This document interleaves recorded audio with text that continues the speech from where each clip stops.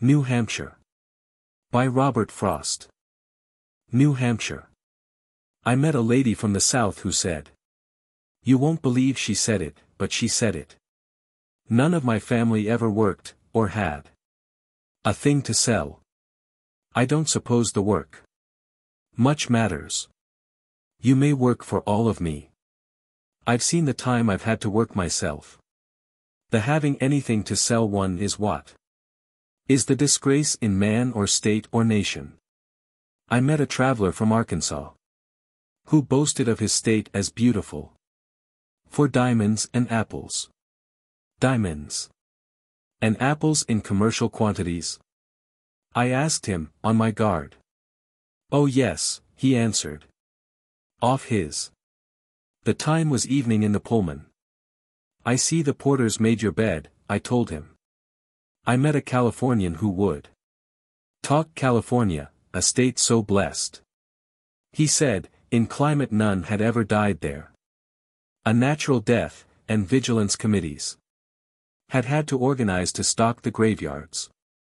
And vindicate the state's humanity. Just the way Stefansson runs on, I murmured. About the British Arctic. That's what comes. Of being in the market with a climate. I met a poet from another state. A zealot full of fluid inspiration. Who in the name of fluid inspiration. But in the best style of bad salesmanship.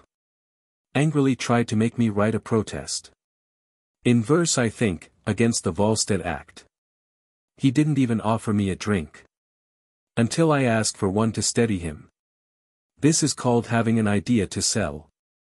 It never could have happened in New Hampshire the only person really soiled with trade. I ever stumbled on in old New Hampshire. Was someone who had just come back ashamed. From selling things in California. He'd built a noble mansard roof with balls. On turrets like Constantinople, deep. In wood some ten miles from a railroad station. As if to put forever out of mind.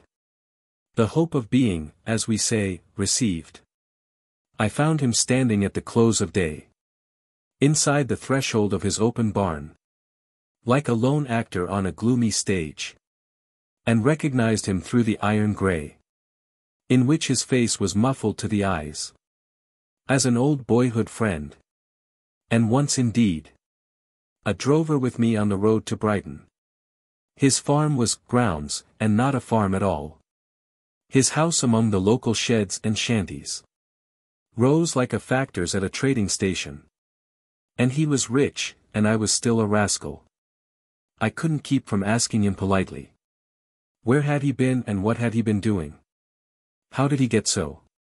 Rich was understood. In dealing in old rags in San Francisco. Oh it was terrible as well could be. We both of us turned over in our graves. Just specimens is all New Hampshire has.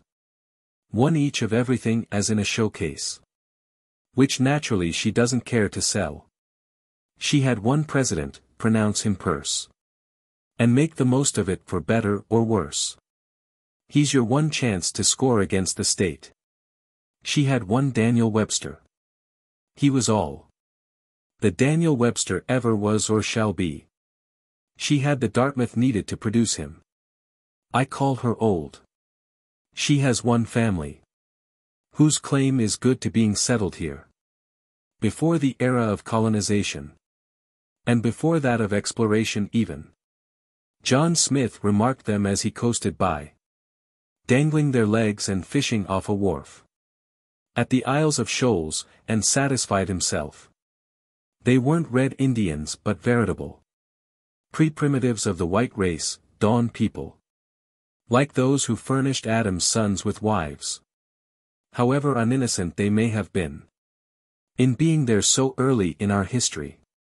They'd been there then a hundred years or more. Pity he didn't ask what they were up to. At that date with a wharf already built. And take their name. They've since told me their name. Today an honored one in Nottingham. As for what they were up to more than fishing. Suppose they weren't behaving puritanly. The hour had not yet struck for being good. Mankind had not yet gone on the sabbatical. It became an explorer of the deep. Not to explore too deep in others' business. Did you but know of him, New Hampshire has. One real reformer who would change the world. So it would be accepted by two classes. Artists the minute they set up as artists. Before, that is, they are themselves accepted. And boys the minute they get out of college. I can't help thinking those are tests to go by. And she has one I don't know what to call him. Who comes from Philadelphia every year. With a great flock of chickens of rare breeds. He wants to give the educational advantages of growing almost wild. Under the watchful eye of hawk and eagle. Dorkings because they're spoken of by Chaucer. Sussex because they're spoken of by Herrick. She has a touch of gold. New Hampshire gold, too. You may have heard of it. I had a farm. Offered me not long since up Berlin way. With a mine on it that was worked for gold. But not gold in commercial quantities. Just enough gold to make the engagement rings. And marriage rings of those who owned the farm. What gold more innocent could one have asked for? One of my children ranging after rocks. Lately brought home from Andover or Canaan. A specimen of beryl with a trace. Of radium. I know with radium. The trace would have to be the merest trace. To be below the threshold of commercial. But trust New Hampshire not to have enough. Of radium or anything to sell. A specimen of everything, I said. She has one witch, old style. Three she lives in Colebrook. The only other witch I ever met. Was lately at a cut-glass dinner in Boston. There were four candles and four people present. The witch was young, and beautiful, new style. And open-minded. She was free to question. Her gift for reading letters locked in boxes. Why was it so much greater when the boxes were metal than it was when they were wooden? It made the world seem so mysterious. The Society for Psychical Research was cognizant. Her husband was worth millions. I think he owned some shares in Harvard College. New Hampshire used to have at Salem. A company we called the White Corpuscles. Whose duty was at any hour of night. To rush in sheets and fools' caps where they smelled. A thing the least bit doubtfully presented. And give someone the skipper Ireson's ride. One each of everything as in a showcase. More than enough land for a specimen. You'll say she has, but there there enters in. Something else to protect her from herself. Their quality for makes up for quantity. Not even New Hampshire farms are much for sale. The farm I made my home on in the mountains. I had to take by force rather than buy. I caught the owner outdoors by himself. Raking up after winter, and I said. I'm going to put you off this farm, I want it. Where are you going to put me? In the road. I'm going to put you on the farm next to it. Why won't the farm next to it do for you? I like this better. It was really better. Apples. New Hampshire has them, but unsprayed. With no suspicion in stem end or blossom end. Of vitriol or arsenate of lead. And so not good for anything but cider. Her unpruned grapes are flung like lariats. Far up the birches out of reach of man. 5. A state producing precious metals, stones. And, writing, none of these except perhaps. The precious literature in quantity. Or quality to worry the producer. About disposing of it. Do you know? Considering the market, there are more. Poems produced than any other thing, 6. No wonder poets sometimes have to seem so much more businesslike than businessmen. Their wares are so much harder to get rid of. She's one of the two best states in the Union. Vermont's the other. And the two have been yoke fellows in the sap yoke from of old. In many marches. Seven and they lie like wedges.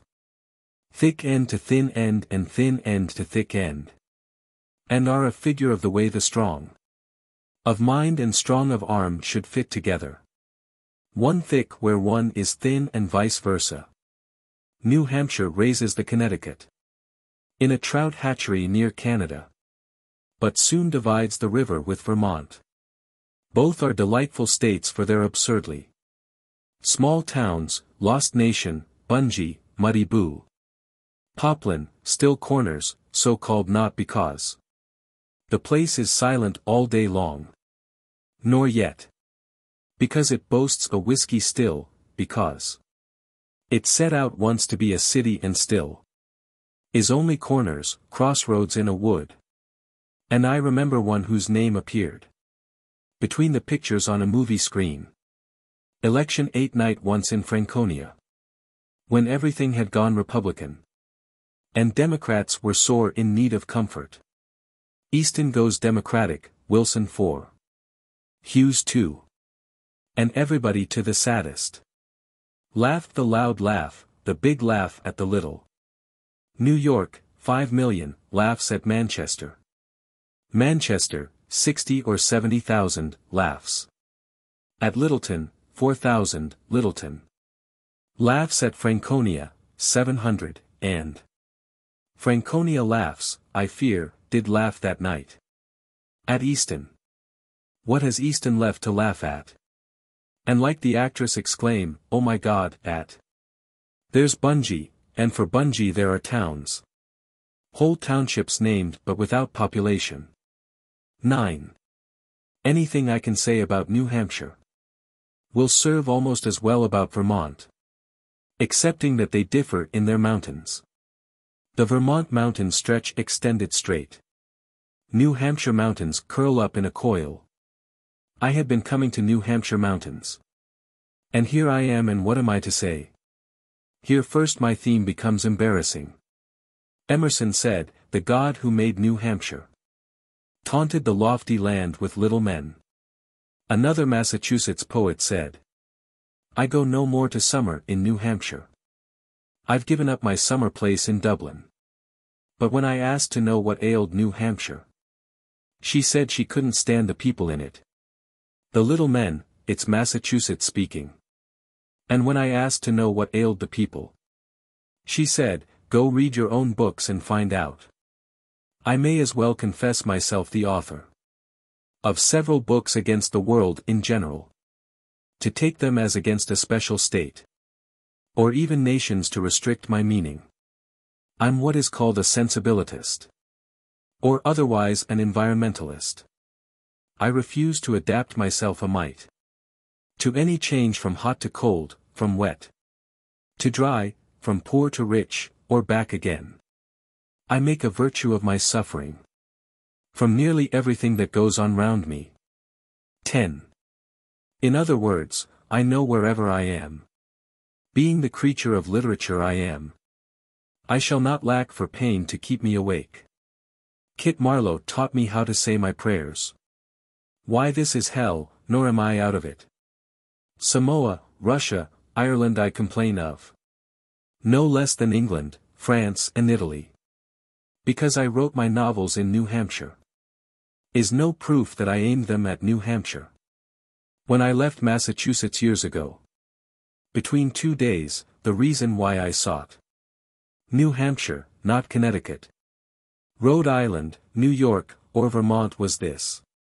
Where I was living then, New Hampshire offered. The nearest boundary to escape across. I hadn't an illusion in my handbag. About the people being better there. Than those I left behind. I thought they weren't. I thought they couldn't be. And yet they were. I'd sure had no such friends in Massachusetts. As Hall of Windham, Gay of Atkinson 11. Bartlett of Raymond, now of Colorado. Harris of Derry, and Lynch of Bethlehem. The glorious bards of Massachusetts seem to want to make New Hampshire people over. They taunt the lofty land with little men. I don't know what to say about the people. For art's sake one could almost wish them worse twelve.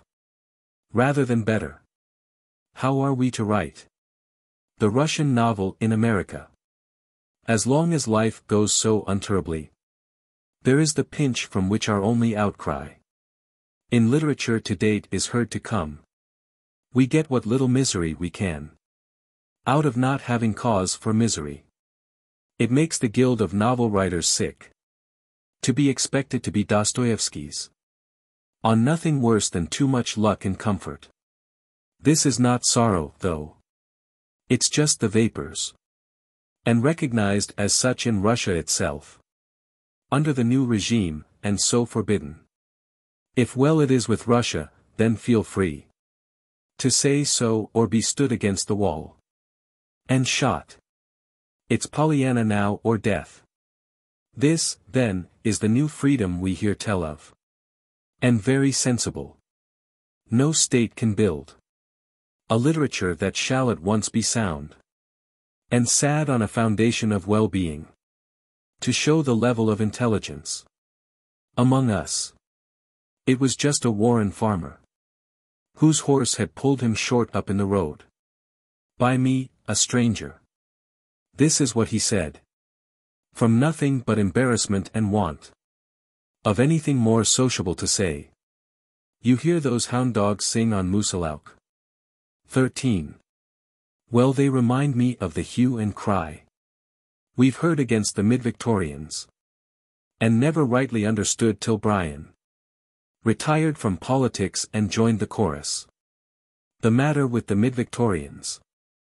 Seems to have been a man named John L. Darwin. 14. Go long, I said to him, he to his horse. I knew a man who failing as a farmer. Burned down his farmhouse for the fire insurance. And spent the proceeds on a telescope 15. To satisfy a lifelong curiosity. About our place among the infinities. And how was that for otherworldliness? If I must choose which I would elevate. The people or the already lofty mountains. I'd elevate the already lofty mountains. The only fault I find with old New Hampshire. Is that her mountains aren't quite high enough. I was not always so, I've come to be so. How, to my sorrow, how have I attained? A height from which to look down critical. On mountains? What has given me assurance? To say what height becomes New Hampshire mountains. Or any mountains. Can it be some strength? I feel as of an earthquake in my back. To heave them higher to the morning star. Can it be foreign travel in the Alps?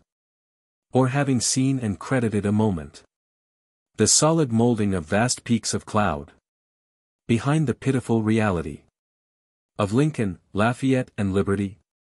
Or some such sense as says how high shall jet. The fountain in proportion to the basin?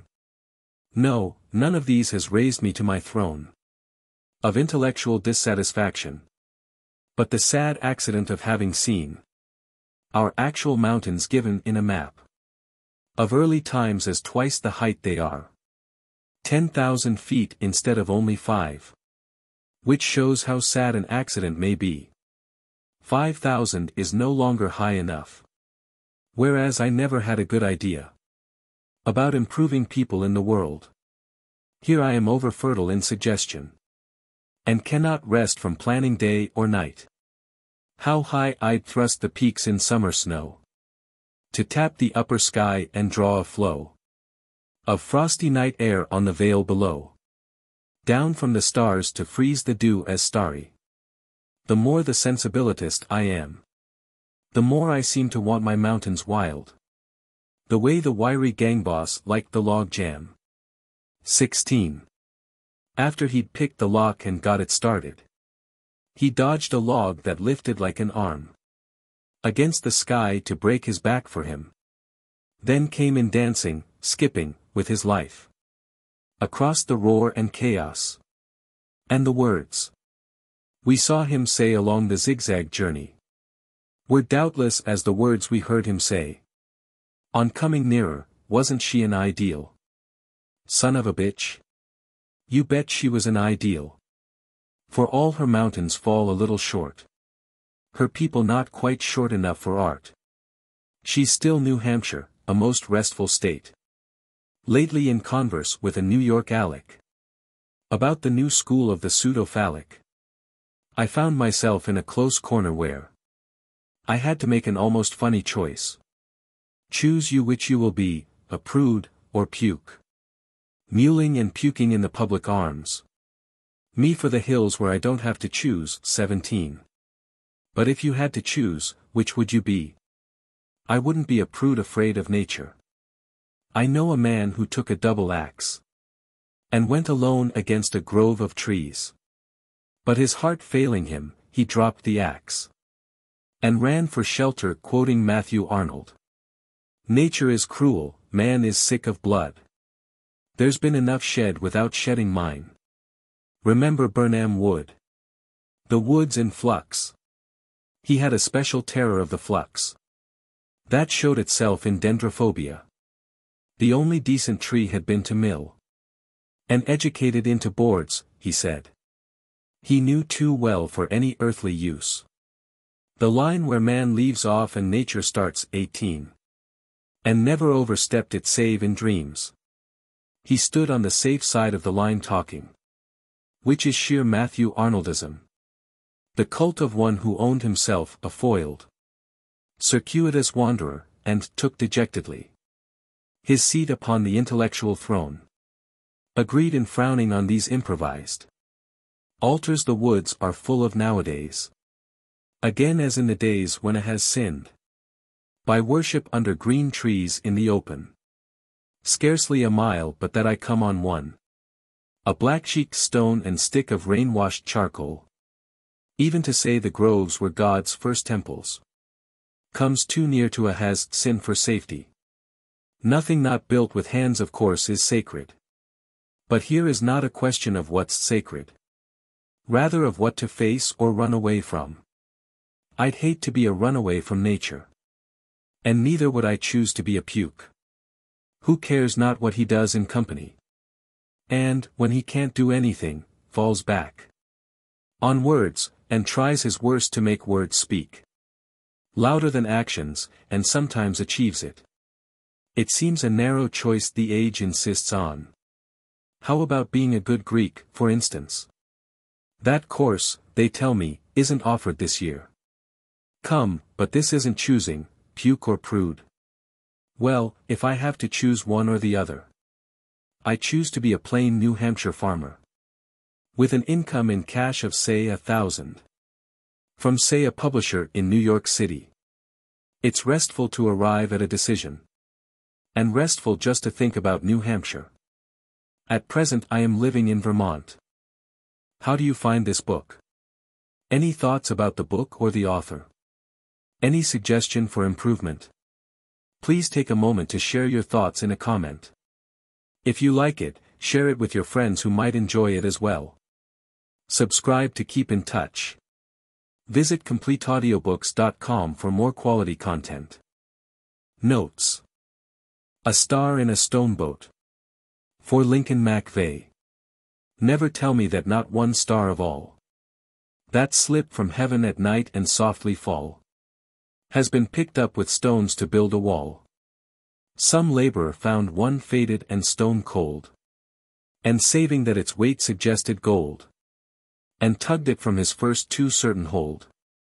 He noticed nothing in it to remark.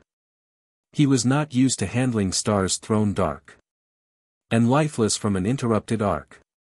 He did not recognize in that smooth coal. The one thing palpable besides the soul.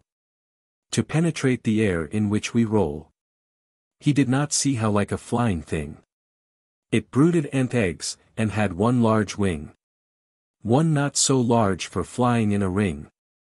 And a long bird of paradise's tail. Though these when not in use to fly and trail. It drew back in its body like a snail. Nor know that he might move it from the spot. The harm was done. From having been starshot. The very nature of the soil was hot. And burning to yield flowers instead of grain. Flowers fanned and not put out by all the rain. Poured on them by his prayers prayed in vain. He moved it roughly with an iron bar. He loaded an old stone boat with the star. And not, as you might think, a flying car. Such as even poets would admit perforce. More practical than Pegasus the horse. If it could put a star back in its course. He dragged it through the plowed ground at a pace. But faintly reminiscent of the race. Of jostling rock in interstellar space. It went for building stone, and I, as though commanded in a dream, forever go. To right the wrong that this should have been so. Yet ask where else it could have gone as well. I do not know, I cannot stop to tell. He might have left it lying where it fell. From following walls I never lift my eye. Except at night to places in the sky. Where showers of charted meteors let fly. Some may know what they seek in school and church. And why they seek it there, for what I search. I must go measuring stone walls, perch on perch. Sure that though not a star of death and birth. So not to be compared, perhaps, in worth. To such resorts of life as Mars and Earth. Though not, I say, a star of death and sin. It yet has poles. And only needs a spin. To show its worldly nature and begin. To chafe and shuffle in my calloused palm. And run off in strange tangents with my arm. As fish do with the line in first alarm. Such as it is, it promises the prize. Of the one world complete in any size. That I am like to compass, fool or wise. The census taker. I came an errand one cloud-blowing evening. To a slab-built, black paper-covered house. Of one room and one window and one door. The only dwelling in a waste cut over. A hundred square miles rounded in the mountains. And that not dwelt in now by men or women. It never had been dwelt in, though, by women. So what is this I make a sorrow of? I came as census taker to the waste. To count the people in it and found none. None in the hundred miles, none in the house. Where I came last with some hope. But not much. After hours overlooking from the cliffs. An emptiness flayed to the very stone. I found no people that dared show themselves. None not in hiding from the outward eye. The time was autumn, but how anyone could tell the time of year when every tree that could have dropped a leaf was down itself. And nothing but the stump of it was left. Now bringing out its rings and sugar of pitch. And every tree up stood a rotting trunk. Without a single leaf to spend on autumn. Or branch to whistle after what was spent. Perhaps the wind the more without the help. Of breathing trees said something of the time. Of year or day the way it swung a door. Forever off the latch. As if rude men. Passed in and slammed it shut each one behind him. For the next one to open for himself. I counted nine I had no right to count. But this was dreamy unofficial counting. Before I made the tenth across the threshold. Where was my supper? Where was anyone's? No lamp was lit. Nothing was on the table. The stove was cold, the stove was off the chimney. And down by one side where it lacked a leg. The people that had loudly passed the door. Were people to the ear but not the eye. They were not on the table with their elbows. They were not sleeping in the shelves of bunks. I saw no men there and no bones of men there. I armed myself against such bones as might be. With the pitch-blackened stub of an axe handle. I picked up off the sawdust-covered floor. Not bones, but the ill-fitted window rattled. The door was still because I held it shut. While I thought what to do that could be done. About the house, about the people not there. This house in one year fallen to decay, filled me with no less sorrow than the houses. Fallen to ruin in 10,000 years. Where Asia wedges Africa from Europe. Nothing was left to do that I could see. Unless to find that there was no one there. And declare to the cliffs too far for echo. The place is desert and let whoso lurks. In silence, if in this he is aggrieved. Break silence now or be forever silent. Let him say why it should not be declared so. The melancholy of having to count souls. Where they grow fewer and fewer every year. Is extreme where they shrink to none at all. It must be I want life to go on living. The Star Splitter. You know Orion always comes up sideways. Throwing a leg up over our fence of mountains. And rising on his hands, he looks in on me. Busy outdoors by lantern light with something. I should have done by daylight, and indeed. After the ground is frozen, I should have done. Before it froze. And a gust flings a handful, of waste leaves at my smoky lantern chimney. To make fun of my way of doing things. Or else fun of Orion's having caught me. Has a man, I should like to ask, no rights? These forces are obliged to pay respect to. So Brad McLaughlin mingled reckless talk. Of heavenly stars with hugger-mugger farming. Till having failed at hugger-mugger farming. He burned his house down for the fire insurance. And spent the proceeds on a telescope. To satisfy a lifelong curiosity. About our place among the infinities. What do you want with one of those blame things? I asked him well beforehand. Don't you get one? Don't call it blamed, there isn't anything. More blameless in the sense of being less. A weapon in our human fight, he said. I'll have one if I sell my farm to buy it. There where he moved the rocks to plow the ground. And plowed between the rocks he couldn't move. Few farms changed hands. So rather than spend years trying to sell his farm and then not selling, he burned his house down for the fire insurance. And bought the telescope with what it came to. He had been heard to say by several. The best thing that we're put here for us to see. The strongest thing that's given us to see with's. A telescope. Someone in every town. Seems to me owes it to the town to keep one. In Littleton it may as well be me. After such loose talk it was no surprise. When he did what he did and burned his house down. Mean laughter went about the town that day. To let him know we weren't the least imposed on. And he could wait, we'd see to him tomorrow. But the first thing next morning we reflected. If one by one we counted people out. For the least sin, it wouldn't take us long. To get so we had no one left to live with. For to be social is to be forgiving. Our thief, the one who does our stealing from us. We don't cut off from coming to church suppers. But what we miss we go to him and ask for. He promptly gives it back, that is if still. Uneaten, unworn out, or undisposed of. It wouldn't do to be too hard on Brad. About his telescope. Beyond the age. Of being given one's gift for Christmas. He had to take the best way he knew how. To find himself in one. Well, all we said was. He took a strange thing to be roguish over. Some sympathy was wasted on the house. A good old timer dating back along. But a house isn't sentient, the house didn't feel anything. And if it did, why not regard it as a sacrifice? And an old-fashioned sacrifice by fire. Instead of a new-fashioned one at auction. Out of a house and so out of a farm. At one stroke, of a match, Brad had to turn. To earn a living on the Concord Railroad. As under-ticket agent at a station. Where his job, when he wasn't selling tickets, was setting out up track and down. Not plants.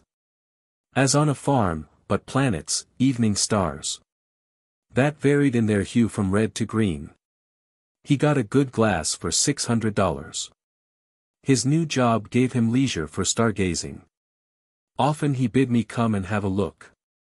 Up the brass barrel, velvet black inside. At a star quaking in the other end. I recollect a night of broken clouds, and underfoot snow melted down to ice.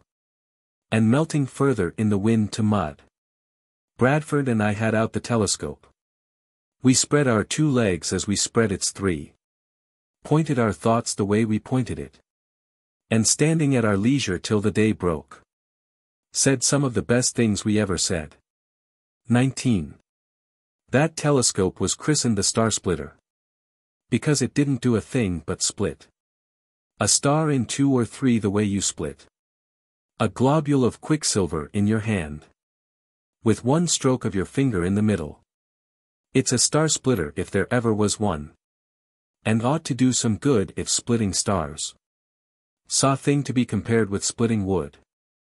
We've looked and looked, but after all where are we? Do we know any better where we are? And how it stands between the night to night? And the man with a smoky lantern chimney? How different from the way it ever stood? Maple.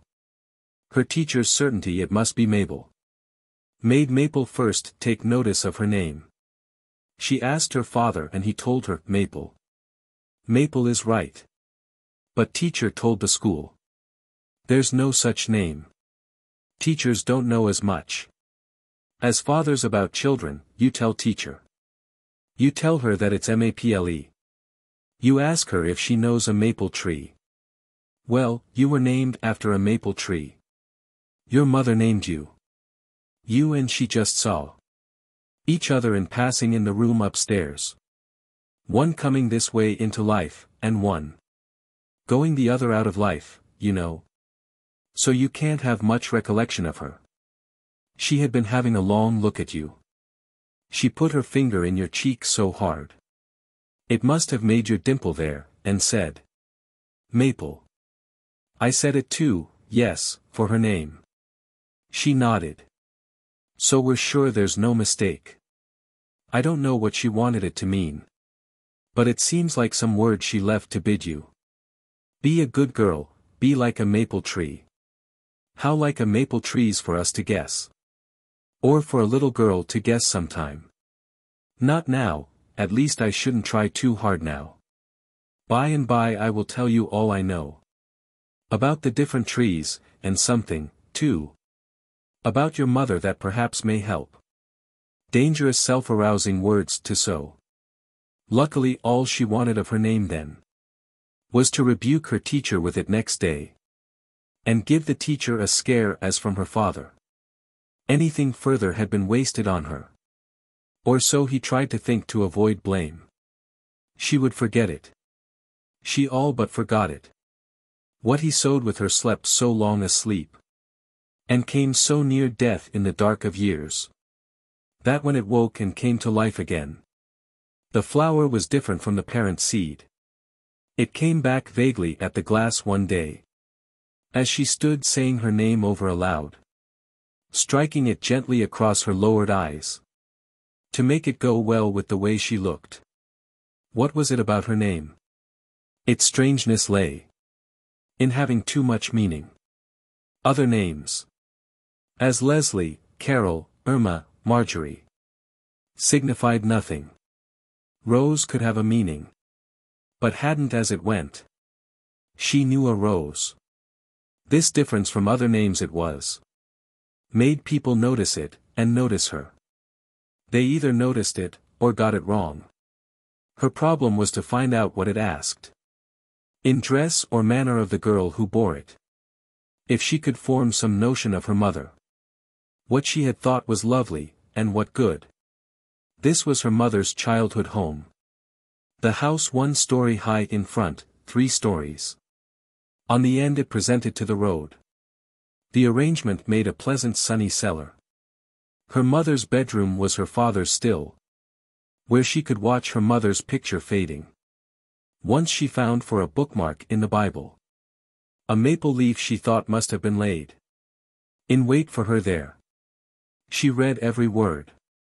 Of the two pages it was pressed between. As if it was her mother speaking to her. But forgot to put the leaf back in closing. And lost the place never to read again. She was sure, though, there had been nothing in it. So she looked for herself, as everyone looks for himself, more or less outwardly. And her self-seeking, fitful though it was, may still have been what led her on to read. And think a little, and get some city schooling. She learned shorthand, whatever shorthand may have had to do with it, she sometimes wondered. So, till she found herself in a strange place. For the name Maple to have brought her to. Taking dictation on a paper pad. And in the pauses when she raised her eyes. Watching out of a 19th-story window. An airship laboring with unship-like motion. And a vague all-disturbing roar above the river. Beyond the highest city built with hands. Someone was saying in such natural tones. She almost wrote the words down on her knee. Do you know you remind me of a tree? A maple tree? Because my name is Maple. Isn't it Mabel? I thought it was Mabel. No doubt you've heard the office call me Mabel. I have to let them call me what they like. They were both stirred that he should have divined. Without the name her personal mystery. It made it seem as if there must be something. She must have missed herself. So they were married. And took the fancy home with them to live by. They went on pilgrimage once to her father's. The house one story high in front, three stories. On the side it presented to the road to see if there was not some special tree. She might have overlooked. They could find none. Not so much as a single tree for shade. Let alone grove of trees for sugar orchard. She told him of the bookmark maple leaf. In the big Bible, and all she remembered. Of the place marked with it, wave offering. Something about wave offering, it said. You've never asked your father outright, have you? I have, and been put off some time, I think. This was her faded memory of the way. Once long ago her father had put himself off. Because no telling but it may have been. Something between your father and your mother. Not meant for us at all. Not meant for me. Where would the fairness be in giving me? A name to carry for life, and never know. The secret of. And then it may have been. Something a father couldn't tell a daughter. As well as could a mother. And again. It may have been their one lapse into fancy. Twould be too bad to make him sorry for. By bringing it up to him when he was too old. Your father feels us round him with our questing. And holds us off unnecessarily. As if he didn't know what little thing.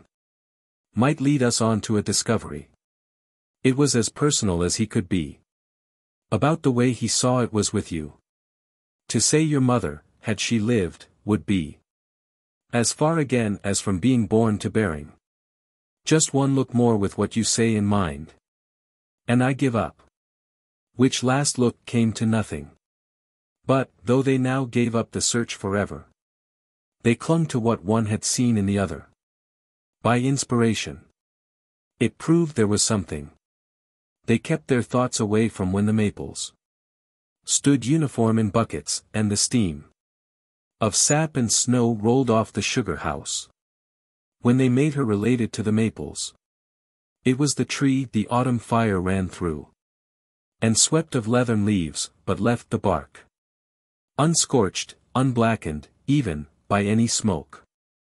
They always took their holidays in autumn.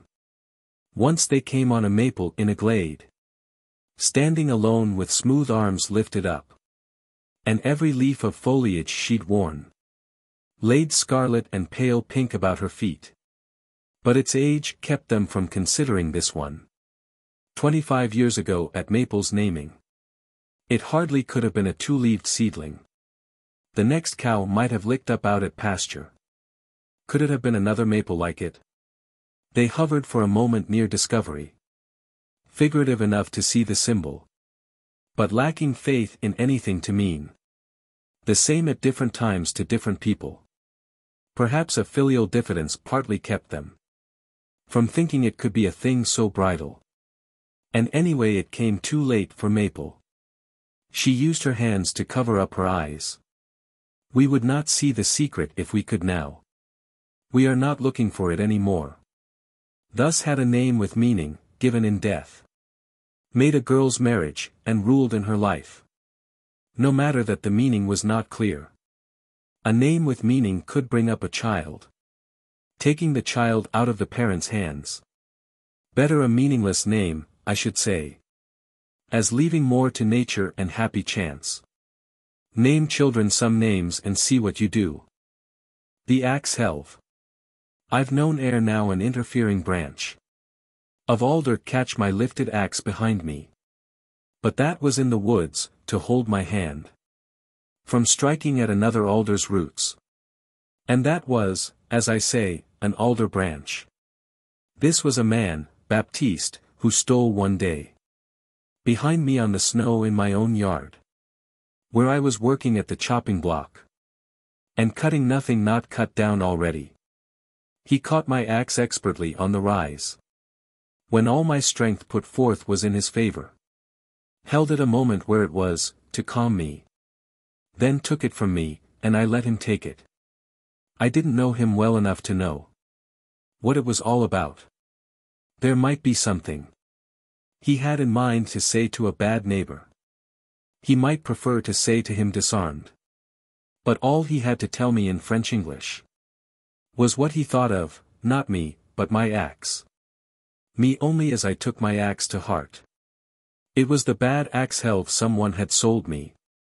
Made on machine, he said, plowing the grain. With a thick thumbnail to show how it ran. Across the handle's long-drawn serpentine.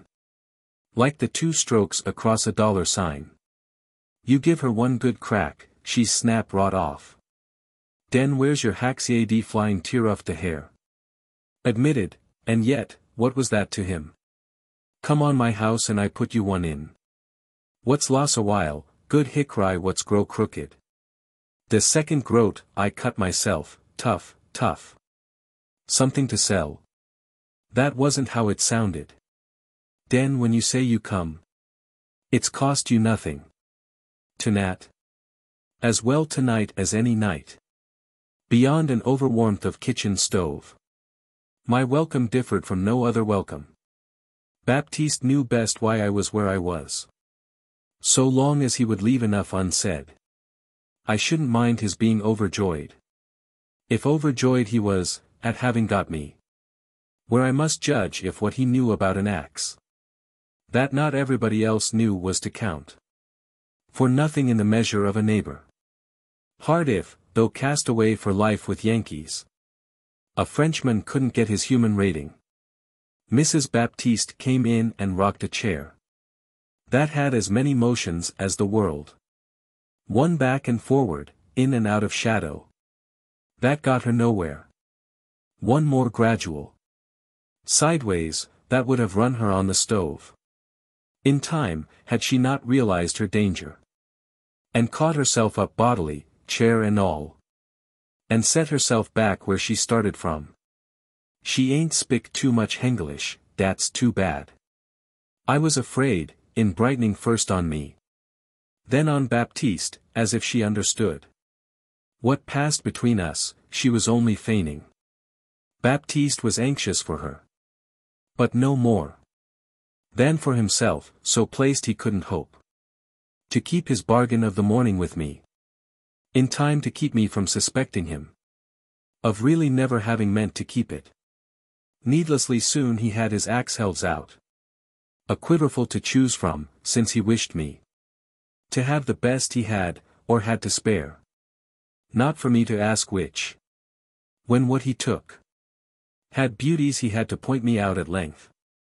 To ensure their not being wasted on me. He liked to have it slender as a whipstock. Free from the least knot, equal to the strain. Of bending like a sword across the knee. He showed me that the lines of a good helve were native to the grain before the knife. Expressed them, and its curves were no false curves. Put on it from without. And there its strength lay. For the hard work. He chafed its long white body. From end to end with his rough hand shut round it. He tried it at the eye hole in the axe head. Han, Han, he mused, don't need much taking down. Baptiste knew how to make a short job long. For love of it, and yet not waste time either. Do you know, what we talked about was knowledge. Baptiste on his defense about the children. He kept from school. Or did his best to keep. Whatever school and children and our doubts. Of laid on education had to do. With the curves of his axe helves and his having. Used these unscrupulously to bring me. To see for once the inside of his house. Was I desired in friendship, partly as someone. To leave it to, whether the right to hold. Such doubts of education should depend. Upon the education of those who held them. But now he brushed the shavings from his knee. And stood the axe there on its horse's hoof. Erect, but not without its waves, as when. The snake stood up for evil in the garden. Top heavy with a heaviness his short. Thick hand made light of. Steel blue chin drawn down. And in a little, a French touch in that. Baptiste drew back and squinted at it, pleased. See how she's cock her head. The grindstone. Having a wheel and four legs of its own. Has never availed the cumbersome grindstone. To get it anywhere that I can see. These hands have helped it go, and even race. Not all the motion, though, they ever lent. Not all the miles it may have thought it went. Have got it one step from the starting place. It stands beside the same old apple tree. The shadow of the apple tree is thin. Upon it now, its feet are fast in snow. All other farm machinery's gone in. And some of it on no more legs and wheel. Then the grindstone can boast to stand or go. I'm thinking chiefly of the wheelbarrow. For months it hasn't known the taste of steel.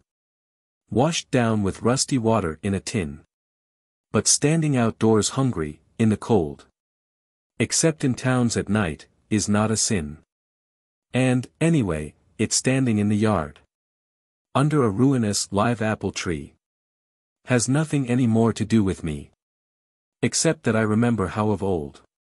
One summer day, all day I drove it hard.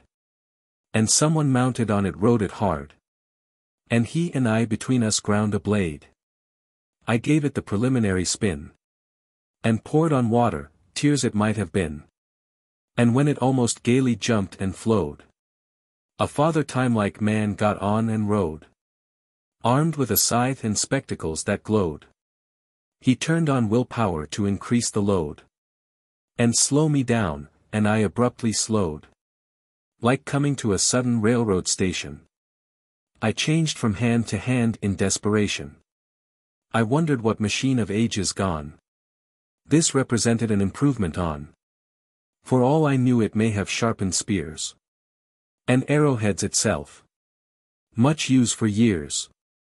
Had gradually worn it an oblate. Spheroid that kicked and struggled in its gait appearing to return me hate for hate. But I forgive it now as easily. As any other boyhood enemy. Whose pride has failed to get him anywhere. I wondered who it was the man thought ground. The one who held the wheel back or the one. Who gave his life to keep it going round. I wondered if he really thought it fair. For him to have the say when we were done. Such were the bitter thoughts to which I turned. Not for myself was I so much concerned. Oh no. Although, of course, I could have found a better way to pass the afternoon than grinding discord out of a grindstone and beating insects at their gritty tune. Nor was I for the man so much concerned. Once when the grindstone almost jumped its bearing. It looked as if he might be badly thrown. And wounded on his blade so far from caring.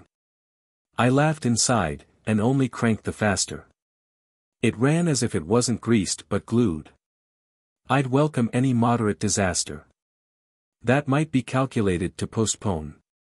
What evidently nothing could conclude. The thing that made me more and more afraid. Was that we'd ground it sharp and hadn't known. And now we're only wasting precious blade. And when he raised it dripping once and tried. The creepy edge of it with wary touch. And viewed it over his glasses funny-eyed. Only disinterestedly to decide. It needed a turn more, I could have cried. Wasn't there danger of a turn too much? Mightn't we make it worse instead of better? I was for leaving something to the whetter. What if it wasn't all it should be? I'd be satisfied if he'd be satisfied. Paul's wife. To drive Paul out of any lumber camp. All that was needed was to say to him. How is the wife, Paul? And he'd disappear. Some said it was because he had no wife. And hated to be twicked on the subject. Others because he'd come within a day. Or so of having one, and then been jilted.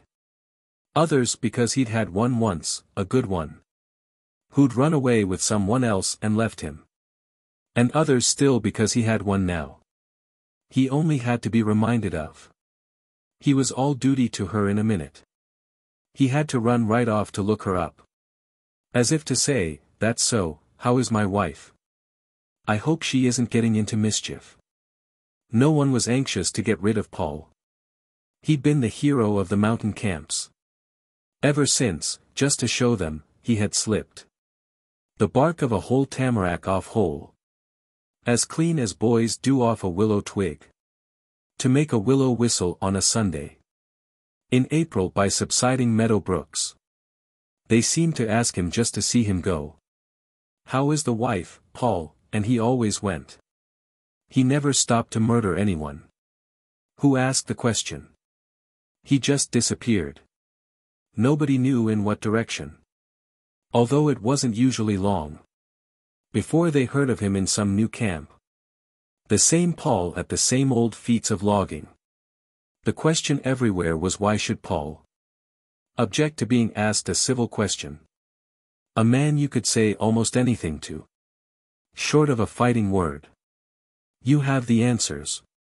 And there was one more not so fair to Paul. That Paul had married a wife not his equal. Paul was ashamed of her. To match a hero. She would have had to be a heroine. Instead of which she was some half-breed squaw. But if the story Murphy told was true. She wasn't anything to be ashamed of. You know Paul could do wonders. Everyone's. Heard how he thrashed the horses on a load. That wouldn't budge until they simply stretched. Their rawhide harness from the load to camp. Paul told the boss the load would be all right. The sun will bring your load in, and it did. By shrinking the rawhide to natural length. That's what is called a stretcher. But I guess. The one about his jumping so's to land. With both his feet at once against the ceiling. And then land safely right side up again. Back on the floor, is fact or pretty near fact. Well this is such a yarn. Paul sawed his wife. Out of a white pine log. Murphy was there. And, as you might say, saw the lady born. Paul worked at anything in lumbering. He'd been hard at it taking boards away. For, I forget, the last ambitious sawyer. To want to find out if he couldn't pile. The lumber on Paul till Paul begged for mercy. They'd sliced the first slab off a big butt log. And the sawyer had slammed the carriage back. To slam end on again against the saw teeth. To judge them by the way they caught themselves. When they saw what had happened to the log. They must have had a guilty expectation. Something was going to go with their slam banging. Something had left a broad black streak of grease. On the new wood the whole length of the log. Except, perhaps, a foot at either end. But when Paul put his finger in the grease. It wasn't grease at all, but a long slot. The log was hollow. They were sawing pine. First time I ever saw a hollow pine. That comes of having Paul around the place. Take it to hell for me, the sawyer said. Everyone had to have a look at it. And tell Paul what he ought to do about it. They treated it as his. You take a jackknife. And spread the opening, and you've got a dugout. All dug to go a fishing in. To Paul. The hollow looked too sound and clean and empty. Ever to have housed birds or beasts or bees. There was no entrance for them to get in by. It looked to him like some new kind of hollow. He thought he'd better take his jackknife to. So after work that evening he came back. And let enough light into it by cutting. To see if it was empty. He made out in there. A slender length of pith, or was it pith? It might have been the skin a snake had cast. And left stood up on end inside the tree. The hundred years the tree must have been growing. More cutting and he had this in both hands. And, looking from it to the pond nearby. Paul wondered how it would respond to water. Not a breeze stirred, but just the breath of air. He made in walking slowly to the beach. Blew it once off his hands and almost broke it. He laid it at the edge where it could drink. At the first drink it rustled and grew limp. At the next drink it grew invisible. Paul dragged the shallows for it with his fingers. And thought it must have melted. It was gone. And then beyond the open water, dim with midges. Where the log drive lay pressed against the boom. It slowly rose a person, rose a girl. Her wet hair heavy on her like a helmet. Who, leaning on a log looked back at Paul. And that made Paul in turn look back. To see if it was anyone behind him. That she was looking at instead of him. Murphy had been there watching all the time. But from a shed where neither of them could see him. There was a moment of suspense in birth. When the girl seemed too waterlogged to live. Before she caught her first breath with a gasp. And laughed. Then she climbed slowly to her feet. And walked off talking to herself or Paul. Across the logs like backs of alligators. Paul taking after her around the pond. Next evening Murphy and some other fellows. Got drunk, and tracked the pair up Catamount. From the bare top of which there is a view. To other hills across a kettle valley. And there, well after dark, let Murphy tell it. They saw Paul and his creature keeping house. It was the only glimpse that anyone has had of Paul and her since Murphy saw them. Falling in love across the twilight mill pond. More than a mile across the wilderness. They sat together halfway up a cliff. In a small niche let into it, the girl. Brightly, as if a star played on the place. Paul darkly, like her shadow. All the light was from the girl herself, though, not from a star.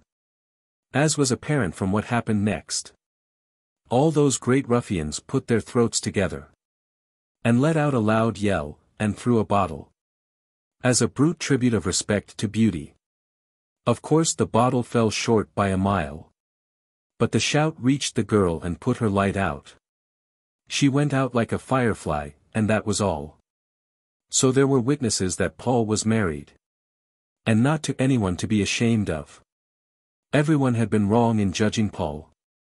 Murphy told me Paul put on all those airs. About his wife to keep her to himself. Paul was what's called a terrible possessor. Owning a wife with him meant owning her. She wasn't anybody else's business. Either to praise her, or so much as name her. And he'd thank people not to think of her. Murphy's idea was that a man like Paul wouldn't be spoken to about a wife. In any way the world knew how to speak. Wild grapes. What tree may not the fig be gathered from? The grape may not be gathered from the birch. It's all you know the grape, or know the birch. As a girl gathered from the birch myself. Equally with my weight in grapes, one autumn. I ought to know what tree the grape is fruit of. I was born, I suppose, like anyone and grew to be a little boyish girl. My brother could not always leave at home. But that beginning was wiped out in fear. The day I swung suspended with the grapes. And was come after like Eurydice. And brought down safely from the upper regions. And the life I live now's an extra life. I can waste as I please on whom I please. So if you see me celebrate two birthdays, and give myself out as two different ages. One of them five years younger than I look. One day my brother led me to a glade. Where a white birch he knew of stood alone. Wearing a thin headdress of pointed leaves. And heavy on her heavy hair behind. Against her neck, an ornament of grapes. Grapes, I knew grapes from having seen them last year. One bunch of them, and there began to be. Bunches all round me growing in white birches. The way they grew round Leif the Lucky's German. Mostly as much beyond my lifted hands, though. As the moon used to seem when I was younger. And only freely to be had for climbing. My brother did the climbing. And at first. Threw me down grapes to miss and scatter. And have to hunt for in sweet fern and hardhack. Which gave him some time to himself to eat. But not so much, perhaps, as a boy needed. So then, to make me wholly self-supporting. He climbed still higher and bent the tree to earth. And put it in my hands to pick my own grapes. Here, take a tree top, I'll get down another. Hold on with all your might when I let go. I said I had the tree. It wasn't true. The opposite was true. The tree had me. The minute it was left with me alone. It caught me up as if I were the fish. And it the fishpole. So I was translated. To loud cries from my brother of, let go. Don't you know anything, you girl? Let go. But I, with something of the baby grip. Acquired ancestrally in just such trees. When wilder mothers than our wildest now. Hung babies out on branches by the hands. To dry or wash or tan. I don't know which. You'll have to ask an evolutionist. I held on uncomplainingly for life. My brother tried to make me laugh to help me. What are you doing up there in those grapes? Don't be afraid. A few of them won't hurt you. I mean, they won't pick you if you don't them. Much danger of my picking anything. By that time I was pretty well reduced. To a philosophy of hang and let hang. Now you know how it feels, my brother said. To be a bunch of fox grapes, as they call them. That when it thinks it has escaped the fox. By growing where it shouldn't, on a birch. Where a fox wouldn't think to look for it. And if he looked and found it, couldn't reach it. Just then come you and I to gather it. Only you have the advantage of the grapes. In one way, you have one more stem to cling by. And promise more resistance to the picker.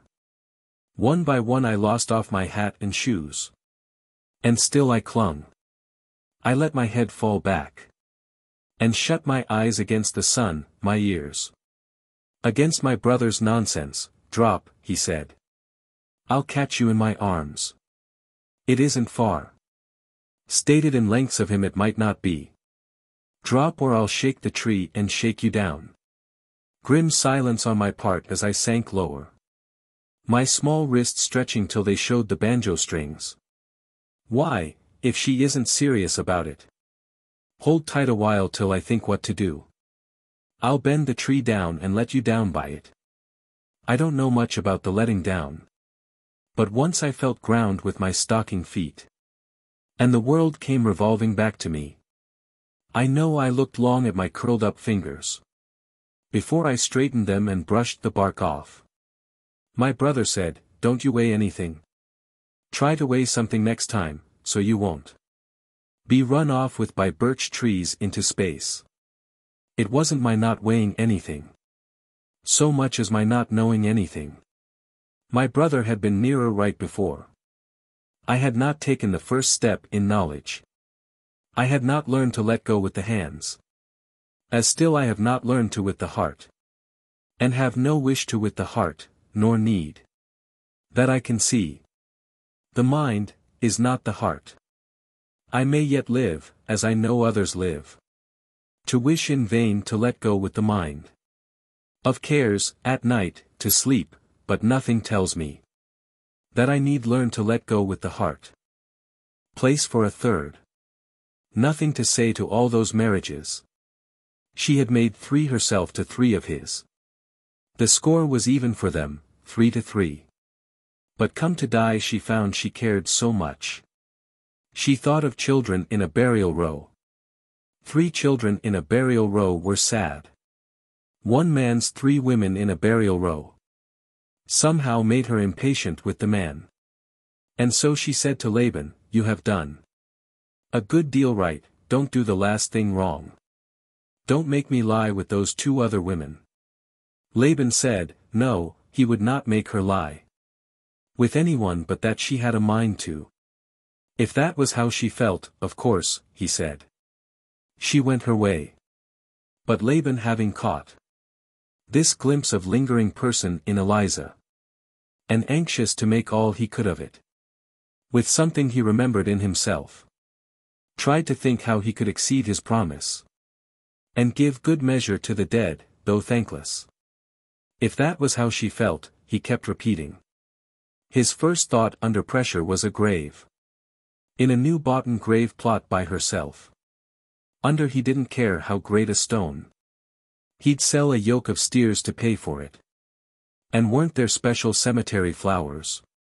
That, once grief sets to growing, grief may rest. The flowers will go on with grief a while. And no one seem neglecting or neglected. A prudent grief will not despise such aids. He thought of evergreen and everlasting. And then he had a thought worth many of these. Somewhere must be the grave of the young boy. Who married her for playmate more than helpmate. And sometimes laughed at what it was between them. How would she like to sleep her last with him? Where was his grave? Did Laban know his name? He found the grave a town or two away. The headstone cut with John, beloved husband. Beside it room reserved, the Saya sisters. A never married sisters of that husband. Whether Eliza would be welcome there. The dead was bound to silence, asked the sister.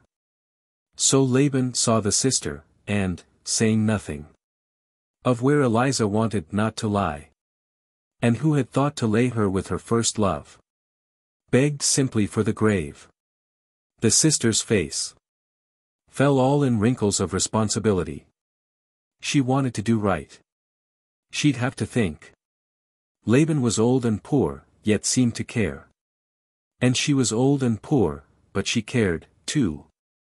They sat. She cast one dull, old look at him.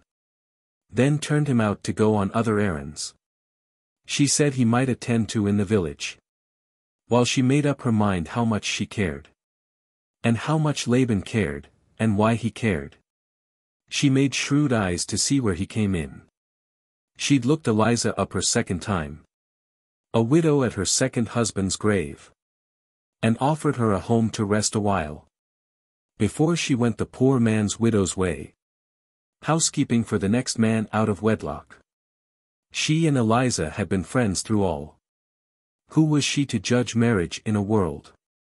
Whose Bibles so confused in marriage counsel?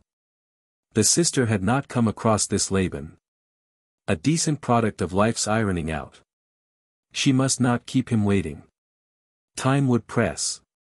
Between the death day and the funeral day. So when she saw him coming in the street. She hurried her decision to be ready. To meet him with his answer at the door. Laban had known about what it would be. From the way she had set her poor old mouth. To do, as she had put it, what was right. She gave it through the screen door closed between them. No, not with John. There wouldn't be no sense. Eliza's had too many other men. Laban was forced to fall back on his plan. To buy Eliza a plot to lie alone in. Which gives him for himself a choice of lots when his time comes to die and settle down. Two Witches. I, the Witch of Coos. Circa 1922. I stayed the night for shelter at a farm. Behind the mountain, with a mother and son. Two old believers. They did all the talking. Mother. Folks think a witch who has familiar spirits. She could call up to pass a winter evening. But won't, should be burned at the stake or something. Summoning spirits isn't button, button. Who's got the button, I would have them know. Son. Mother can make a common table rear. And kick with two legs like an army mule. Mother. And when I've done it, what good have I done? Rather than tip a table for you, let me tell you what Ralle the Sioux control once told me. He said the dead had souls, but when I asked him, how could that be, I thought the dead were souls. He broke my trance. Don't that make you suspicious? That there's something the dead are keeping back. Yes, there's something the dead are keeping back. Son. You wouldn't want to tell him what we have. Up attic, mother. Mother. Bones, a skeleton. Son. But the headboard of mother's bed is pushed. Against the attic door, the door is nailed. It's harmless. Mother hears it in the night. Halting perplexed behind the barrier. Of door and headboard. Where it wants to get. Is back into the cellar where it came from. Mother. We'll never let them, will we, son? We'll never. Son. It left the cellar forty years ago. And carried itself like a pile of dishes. Up one flight from the cellar to the kitchen. Another from the kitchen to the bedroom. Another from the bedroom to the attic. Right past both father and mother. And neither stopped it. Father had gone upstairs, mother was downstairs. I was a baby, I don't know where I was. Mother. The only fault my husband found with me.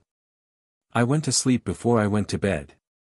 Especially in winter when the bed might just as well be ice and the clothes snow. The night the bones came up the cellar stairs. Toffile had gone to bed alone and left me.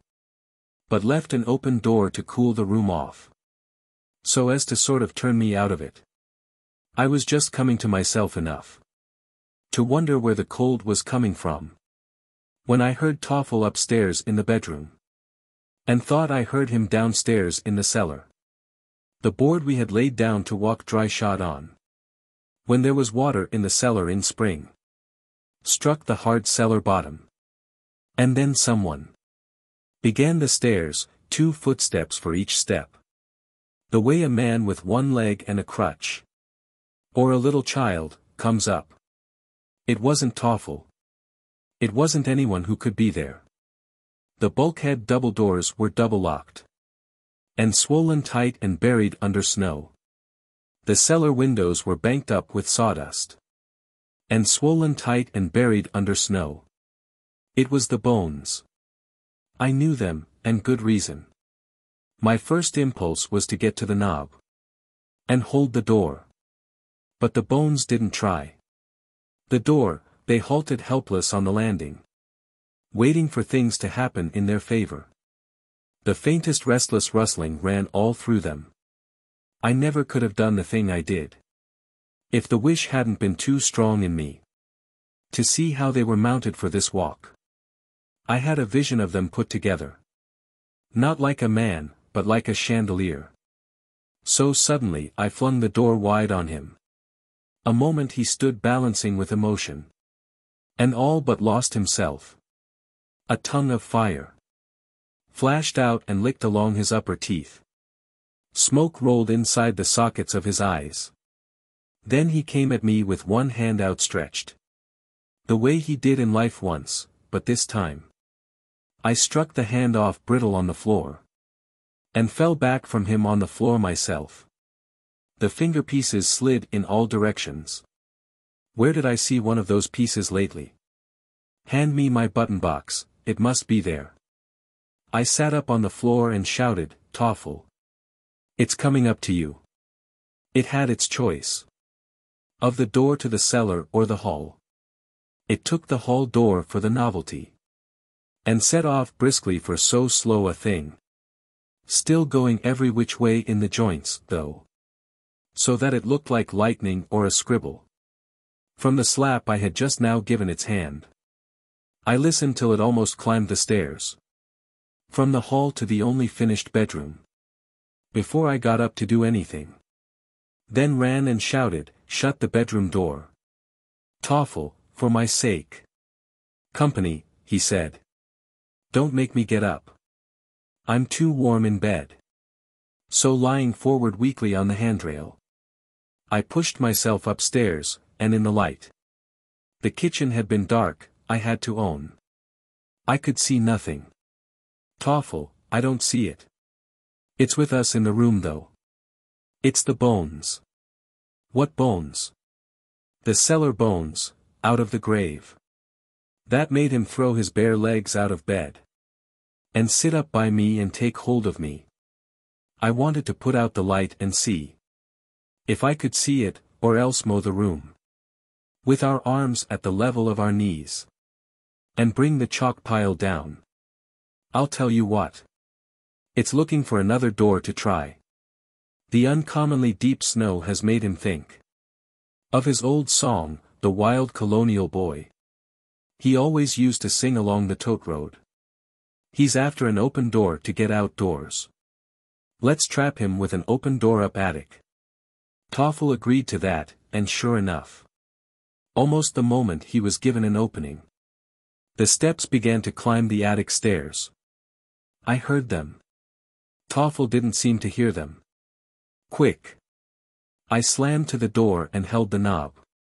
Toffile, get nails. I made him nail the door shut. And pushed the headboard of the bed against it. Then we asked was there anything up attic that we'd ever want again. The attic was less to us than the cellar. If the bones liked the attic, let them have it. Let them stay in the attic. When they sometimes come down the stairs at night and stand perplexed. Behind the door and headboard of the bed. Brushing their chalky skull with chalky fingers. With sounds like the dry rattling of a shutter. That's what I sit up in the dark to say. To no one any more since Toffile died. Let them stay in the attic since they went there. I promised Toffile to be cruel to them for helping them be cruel once to him. Son. We think they had a grave down in the cellar. Mother.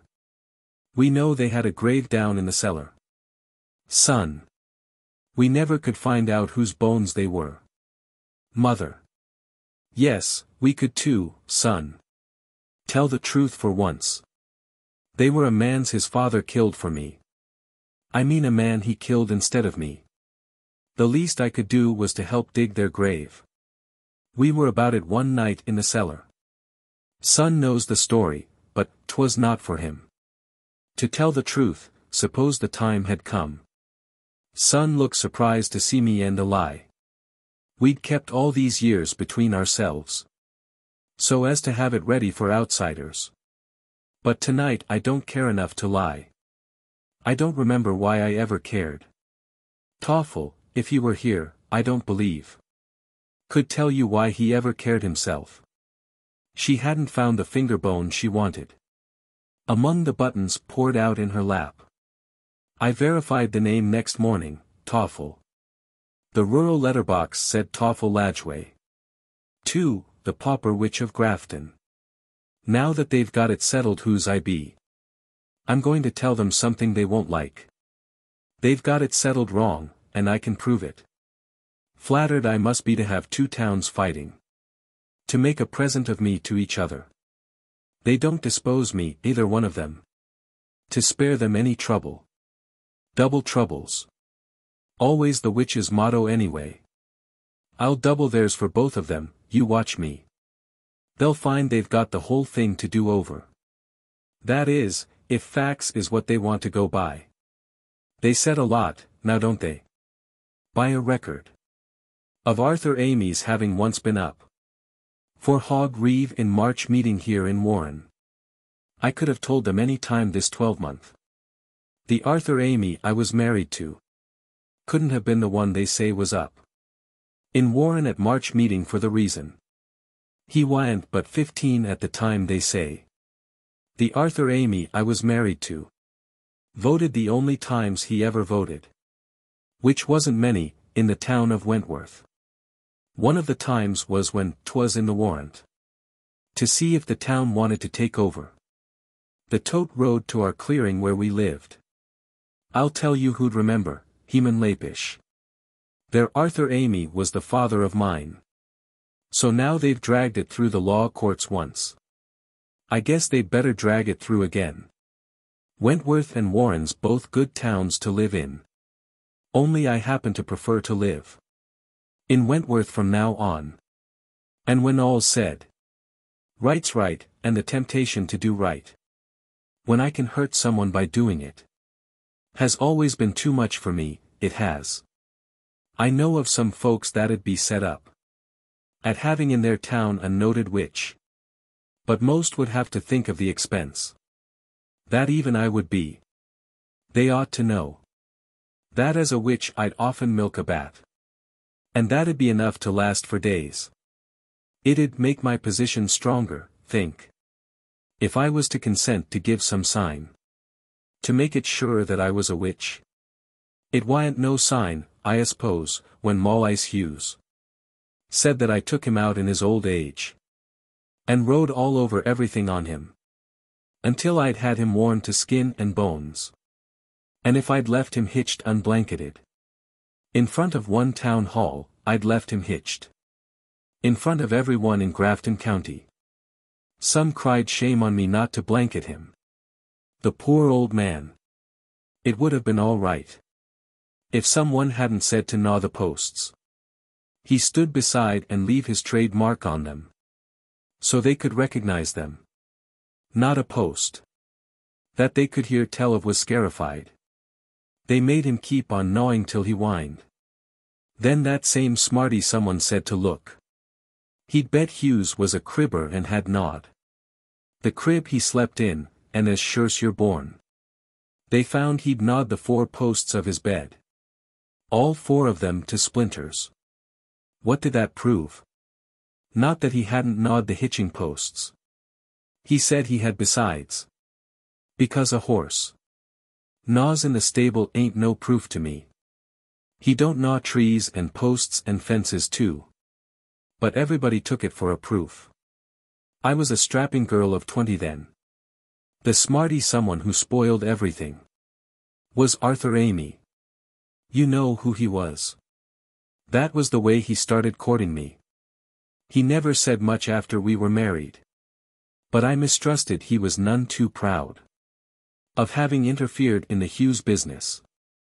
I guess he found he got more out of me. By having me a witch. Or something happened. To turn him round. He got to saying things. To undo what he'd done and make it right. Like, no, she ain't come back from kiting yet. Last night was one of her nights out. She's kiting. She thinks when the wind makes a night of it. She might as well herself. But he liked best. To let on he was plagued to death with me. If anyone had seen me coming home. Over the ridgepole, stride of a broomstick. As often as he had in the tail of the night. He guessed they'd know what he had to put up with. Well, I showed Arthur Amy signs enough. Off from the house as far as we could keep. And from barn smells you can't wash out of plowed ground. With all the rain and snow of seven years. And I don't mean just skulls of Rogers Rangers. On Moosilauke, but woman signs to man.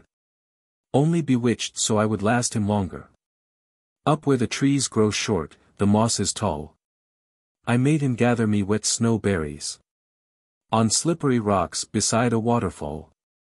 I made him do it for me in the dark. And he liked everything I made him do. I hope if he is where he sees me now. He's so far off he can't see what I've come to. You can come down from everything to nothing. All is, if I'd a known when I was young. And full of it, that this would be the end. It doesn't seem as if I'd had the courage. To make so free and kick up in folks' faces. I might have, but it doesn't seem as if. An empty threat. I stay. But it isn't as if. There wasn't always Hudson's Bay. And the fur trade. A small skiff. And a paddle blade. I can just see my tent pegged. And me on the floor. Cross-legged. And a trapper looking in at the door. With furs to sell. His name's Joe. Alias John. And between what he doesn't know. And won't tell. About where Henry Hudson's gone. I can't say he's much help. But we get on. The seal yelp. On an ice cake. It's not men by some mistake. No. There's not a soul. For a windbreak. Between me and the North Pole. Except always John Joe. My French Indian Eskimo. And he's off setting traps. In one himself perhaps. Give a head shake. Over so much bay. Thrown away. In snow and mist. That doesn't exist. I was going to say. For God, man or beast's sake. Yet does perhaps for all three. Don't ask Joe. What it is to him. It's sometimes dim. What it is to me. Unless it be. It's the old captain's dark fate. Who failed to find or force a strait. In its 2,000 mile coast. And his crew left him where he failed. And nothing came of all he sailed. It's to say, you and I. To such a ghost. You and I. Off here. With the dead race of the great auk. And, better defeat almost. If seen clear. Than life's victories of doubt. That need endless talk talk. To make them out. A fountain, a bottle, a donkey's ears and some books. Old Davis owned a solid mica mountain. In Dalton that would someday make his fortune. There'd been some Boston people out to see it. And experts said that deep down in the mountain. The mica sheets were big as plate glass windows. He'd like to take me there and show it to me. I'll tell you what you show me. You remember. You said you knew the place where once, on Kinsman. The early Mormons made a settlement. And built a stone baptismal font outdoors. But Smith, or someone, called them off the mountain. To go west to a worse fight with the desert. You said you'd seen the stone baptismal font. Well, take me there. Some day I will. Today. Ha, that old bathtub, what is that to see? Let's talk about it. Let's go see the place. To shut you up I'll tell you what I'll do. I'll find that fountain if it takes all summer. And both of our united strengths, to do it. You've lost it, then. Not so but I can find it. No doubt it's grown up some to woods around it. The mountain may have shifted since I saw it. In 85. As long ago as that? If I remember rightly, it had sprung. A leak and emptied then. And 40 years. Can do a good deal to bad masonry. You won't see any Mormon swimming in it. But you have said it, and we're off to find it. Old as I am, I'm going to let myself be dragged by you all over everywhere. I thought you were a guide. I am a guide. And that's why I can't decently refuse you. We made a day of it out of the world. Ascending to descend to reascend. The old man seriously took his bearings. And spoke his doubts in every open place. We came out on a look-off where we faced a cliff, and on the cliff a bottle painted or stained by vegetation from above. A likeness to surprise the thrilly tourist. Well, if I haven't brought you to the fountain. At least I've brought you to the famous bottle. I won't accept the substitute. It's empty. So's everything. I want my fountain. I guess you'd find the fountain just as empty. And anyway this tells me where I am. Hadn't you long suspected where you were? You mean miles from that Mormon settlement? Look here, you treat your guide with due respect. If you don't want to spend the night outdoors. I vow we must be near the place from where. The two converging slides, the avalanches. On Marshall, look like donkey's ears. We may as well see that and save the day. Don't donkey's ears suggest we shake our own? For God's sake, aren't you fond of viewing nature? You don't like nature. All you like is books. What signify a donkey's ears and bottle? However natural. Give you your books. Well then, right here is where I show you books. Come straight down off this mountain just as fast. As we can fall and keep a bouncing on our feet. It's hell for knees and less done hell for leather. Be ready, I thought, for almost anything. We struck a road I didn't recognize. But welcomed for the chance to lave my shoes. In dust once more. We followed this a mile. Perhaps, to where it ended at a house. I didn't know was there. It was the kind. To bring me to for broadboard paneling. I never saw so good a house deserted. Excuse me if I ask you in a window. That happens to be broken, Davis said. The outside doors as yet have held against us. I want to introduce you to the people. Who used to live here. They were Robinsons. You must have heard of Clara Robinson. The poetess who wrote the book of verses. And had it published. It was all about. The posies on her inner window sill. And the birds on her outer window sill. And how she tended both, or had them tended. She never tended anything herself. She was shut in for life. She lived her whole life long in bed, and wrote her things in bed. I'll show you how she had her sills extended to entertain the birds and hold the flowers. Our business firsts up attic with her books. We trod uncomfortably on crunching glass. Through a house stripped of everything. Except, it seemed, the poetess's poems. Books, I should say, if books are what is needed. A whole edition in a packing case. That, overflowing like a horn of plenty. Or like the poetess's heart of love had spilled them near the window toward the light. Where driven rain had wet and swollen them. Enough to stock a village library. Unfortunately all of one kind, though. They had been brought home from some publisher. And taken thus into the family. Boys and bad hunters had known what to do. With stone and lead to unprotected glass. Shatter it inward on the unswept floors. How had the tender verse escaped their outrage? By being invisible for what it was. Or else by some remoteness that defied them. To find out what to do to hurt a poem. Yet oh! The tempting flatness of a book. To send it sailing out the attic window. Till it caught the wind, and, opening out its covers. Tried to improve on sailing like a tile. By flying like a bird, silent in flight. But all the burden of its body song. Only to tumble like a stricken bird. And lie in stones and bushes unretrieved. Books were not thrown irreverently about. They simply lay where some one now and then. Having tried one, had dropped it at his feet. And left it lying where it fell rejected. Here were all those the poetess's life.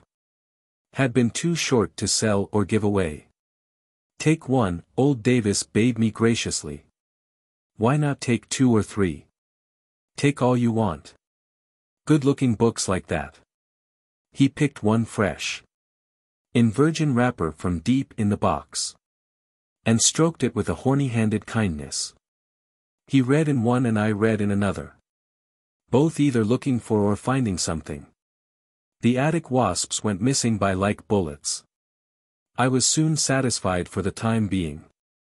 All the way home I kept remembering. The small book in my pocket. It was there.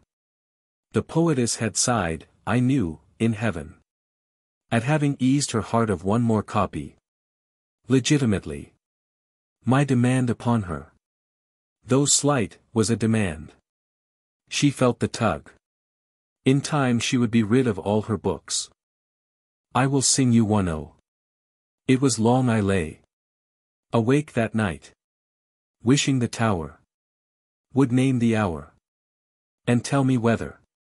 To call it day. Though not yet light. And give up sleep. The snow fell deep. With the hiss of spray. Two winds would meet. One down one street. One down another. And fight in a smother. Of dust and feather. I could not say. But feared the cold. Had checked the pace. Of the tower clock. By tying together. Its hands of gold. Before its face. Then came one knock. A note unruffled. Of earthly weather. Though strange and muffled. The tower said, one. And then a steeple. They spoke to themselves. And such few people. As winds might rouse. From sleeping warm. But not unhouse. They left the storm. That struck en masse. My window glass. Like a beaded fur. In that grave one. They spoke of the sun. And moon and stars. Saturn and Mars. And Jupiter. Still more unfettered. They left the named. And spoke of the lettered. The sigmas and taus. Of constellations. They filled their throats. With the furthest bodies. To which man sends his. Speculation. Beyond which God is. The cosmic motes. Of yawning lenses. Their solemn peals. Were not their own. They spoke for the clock. With whose vast wheels. There's interlock. In that grave word. Uttered alone. The utmost star. Trembled and stirred. Though set so far. Its whirling frenzies. Appear like standing. In one self-station. It has not ranged. And save for the wonder. Of once expanding. To be a nova. It has not changed. To the eye of man. On planets over. Around and under. It in creation. Since man began. To drag down man. And nation nation. Grace notes. Fragmentary blue. Why make so much of fragmentary blue? In here and there a bird, or butterfly. Or flower, or wearing stone, or open eye. When heaven presents in sheets the solid hue. Since earth is earth, perhaps, not heaven, as yet. Though some savants make earth include the sky. And blue so far above us comes so high. It only gives our wish for blue a wet. Fire and ice. Some say the world will end in fire. Some say in ice. From what I've tasted of desire. I hold with those who favor fire. But if it had to perish twice.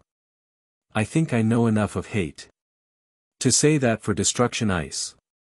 Is also great. And would suffice. In a disused graveyard. The living come with grassy tread. To read the gravestones on the hill. The graveyard draws the living still. But never any more the dead. The verses in it say and say. The ones who living come today. To read the stones and go away. Tomorrow dead will come to stay. So sure of death the marbles rhyme. Yet can't help marking all the time. How no one dead will seem to come. What is it men are shrinking from? It would be easy to be clever. And tell the stones, men hate to die. And have stopped dying now forever. I think they would believe the lie. Dust of snow. The way a crow. Shook down on me. The dust of snow. From a hemlock tree. Has given my heart. A change of mood. And saved some part. Of a day I had rued. To E. T. I slumbered with your poems on my breast. Spread open as I dropped them half read through. Like dove wings on a figure on a tomb. To see, if in a dream they brought of you. I might not have the chance I missed in life. Through some delay. And call you to your face. First soldier, and then poet, and then both. Who died a soldier poet of your race. I meant, you meant, that nothing should remain. Unsaid between us, brother, and this remained. And one thing more that was not then to say. The victory for what it lost and gained.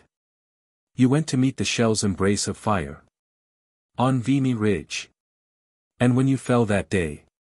The war seemed over more for you than me. But now for me than you, the other way. How over, though, for even me who knew. The foe thrust back unsafe beyond the Rhine. If I was not to speak of it to you. And see you pleased once more with words of mine. Nothing gold can stay. Nature's first green is gold. Her hardest hue to hold. Her early leaf's a flower. But only so an hour. Then leaf subsides to leaf. So Eden sank to grief. So dawn goes down to day. Nothing gold can stay. The runaway. Once when the snow of the year was beginning to fall. We stopped by a mountain pasture to say, whose colt? A little Morgan had one forefoot on the wall. The other curled at his breast. He dipped his head. And snorted at us. And then he had to bolt. We heard the miniature thunder where he fled. And we saw him, or thought we saw him, dim and grey. Like a shadow against the curtain of falling flakes. I think the little fellow's afraid of the snow. He isn't winter broken. It isn't play. With the little fellow at all. He's running away. I doubt if even his mother could tell him, sakes. It's only weather. He'd think she didn't know. Where is his mother? He can't be out alone. And now he comes again with clatter of stone. And mounts the wall again with whited eyes. And all his tail that isn't hair up straight. He shudders his coat as if to throw off flies. Whoever it is that leaves him out so late. When other creatures have gone to stall and bin. Ought to be told to come and take him in. The aim was song. Before man came to blow it right. The wind once blew itself untaught. And did its loudest day and night. In any rough place where it caught. Man came to tell it what was wrong. It hadn't found the place to blow. It blew too hard, the aim was song. And listen, how it ought to go. He took a little in his mouth. And held it long enough for north. To be converted into south. And then by measure blew it forth. By measure. It was word and note. The wind the wind had meant to be. A little through the lips and throat. The aim was song, the wind could see. Stopping by woods on snowy evening. Whose woods these are I think I know. His house is in the village though. He will not see me stopping here. To watch his woods fill up with snow. My little horse must think it queer. To stop without a farmhouse near. Between the woods and frozen lake. The darkest evening of the year. He gives his harness bells a shake. To ask if there is some mistake. The only other sounds the sweep. Of easy wind and downy flake. The woods are lovely, dark and deep. But I have promises to keep. And miles to go before I sleep. And miles to go before I sleep. For once, then, something. Others taunt me with having knelt at well curbs. Always wrong to the light. So never seeing. Deeper down in the well than where the water. Gives me back in a shining surface picture. Me myself in the summer heaven godlike. Looking out of a wreath of fern and cloud puffs. Once, when trying with chin against a well curb. I discerned, as I thought, beyond the picture. Through the picture, a something white, uncertain. Something more of the depths, and then I lost it. Water came to rebuke the too clear water. One drop fell from a fern, and lo, a ripple. Shook whatever it was lay there at bottom. Blurred it, blotted it out. What was that whiteness? Truth. A pebble of quartz. For once, then, something. Blue Butterfly Day. It is Blue Butterfly Day here in spring. And with these skyflakes down in flurry on flurry. There is more unmixed color on the wing. Then flowers will show for days unless they hurry. But these are flowers that fly and all but sing. And now from having ridden out desire. They lie closed over in the wind and cling. Where wheels have freshly sliced the April mire. The onset. Always the same, when on a faded night.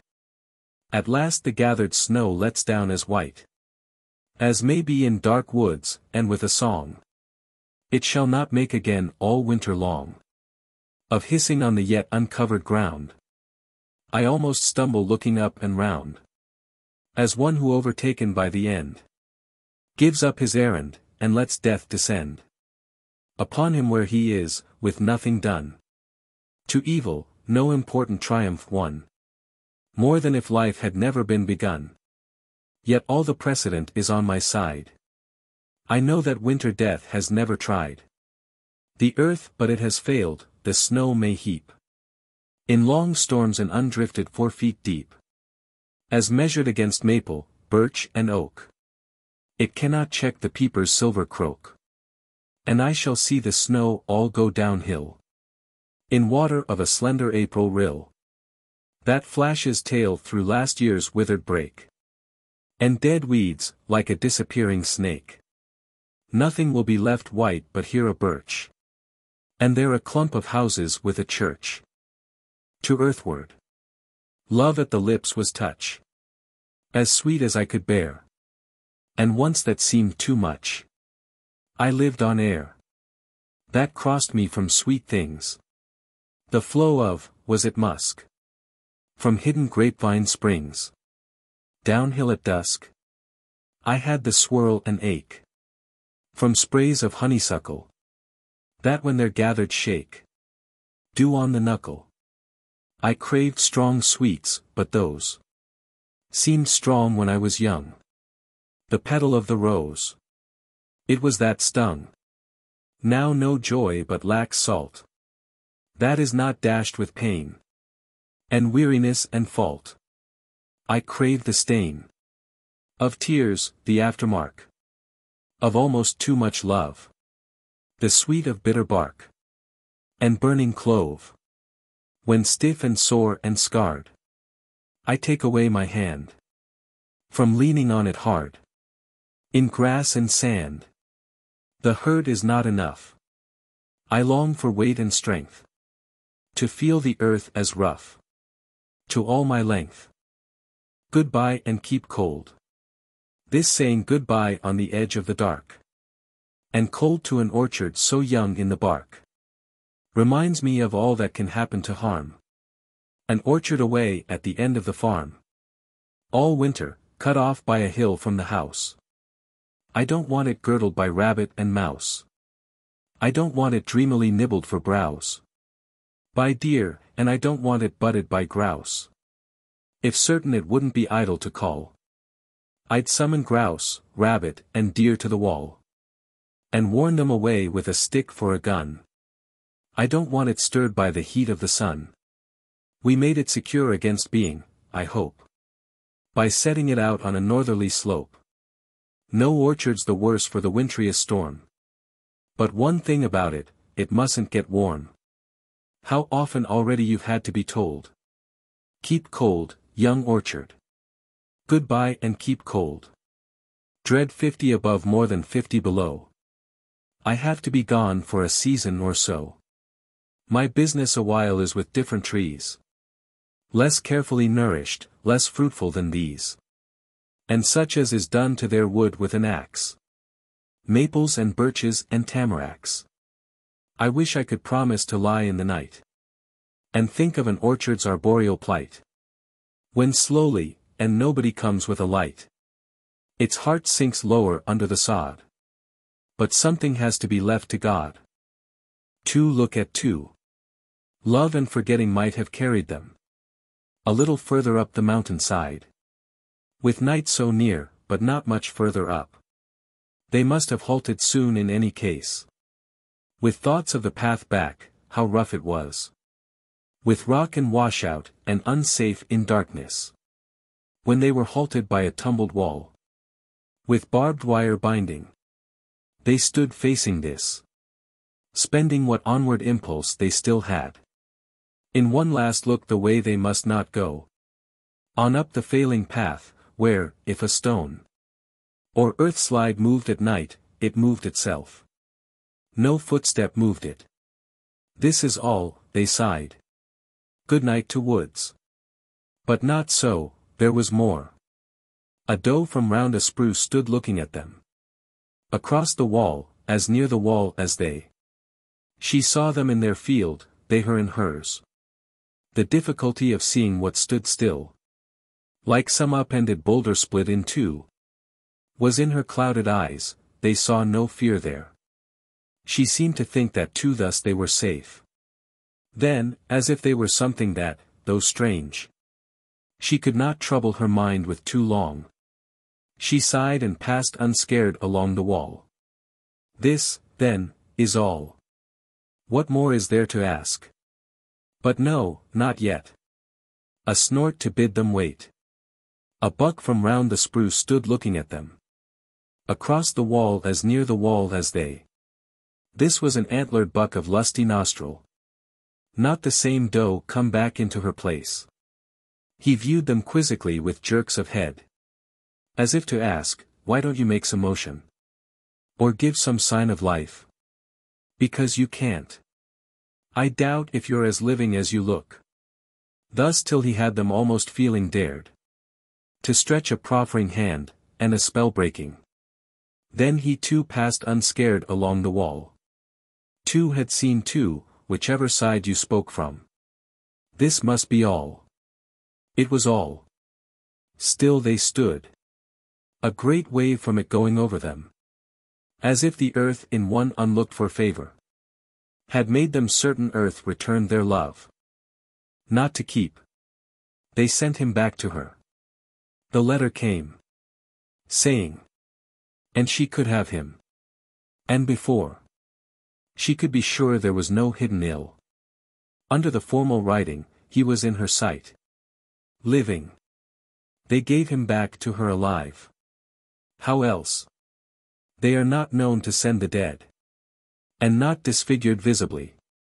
His face. His hands. She had to look, to ask. What is it, dear? And she had given all. And still she had all, they had, they the lucky. Wasn't she glad now? Everything seemed won. And all the rest for them permissible ease. She had to ask, what was it, dear.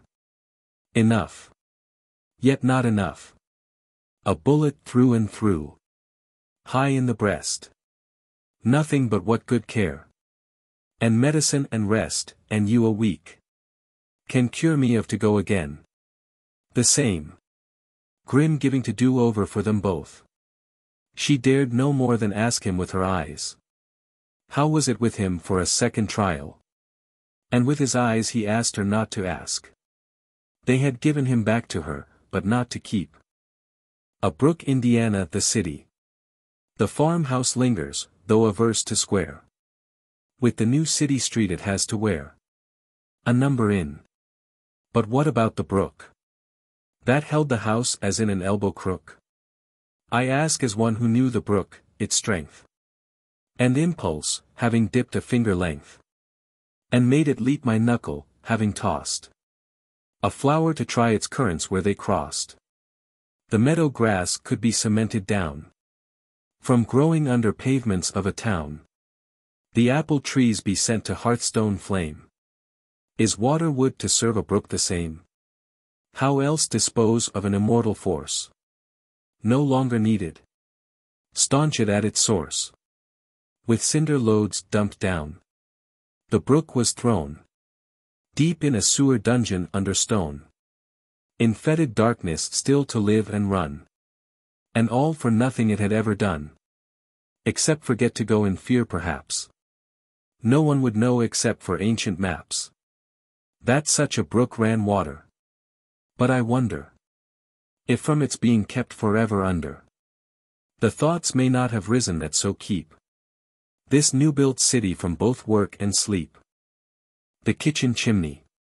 Builder, in building the little house. In every way you may please yourself. But please please me in the kitchen chimney. Don't build me a chimney upon a shelf. However far you must go for bricks. Whatever they cost a piece or a pound. Buy me enough for a full-length chimney. And build the chimney clear from the ground. It's not that I'm greatly afraid of fire. But I never heard of a house that throve. And I know of one that didn't thrive. Where the chimney started above the stove. And I dread the ominous stain of tar. That there always is on the papered walls. And the smell of fire drowned in rain. That there always is when the chimney's false. A shelf's for a clock or vase or picture. But I don't see why it should have to bear. A chimney that only would serve to remind me. Of castles I used to build in air. Looking for a sunset bird in winter. The west was getting out of gold. The breath of air had died of cold. When shoeing home across the white. I thought I saw a bird alight. In summer when I passed the place. I had to stop and lift my face. A bird with an angelic gift.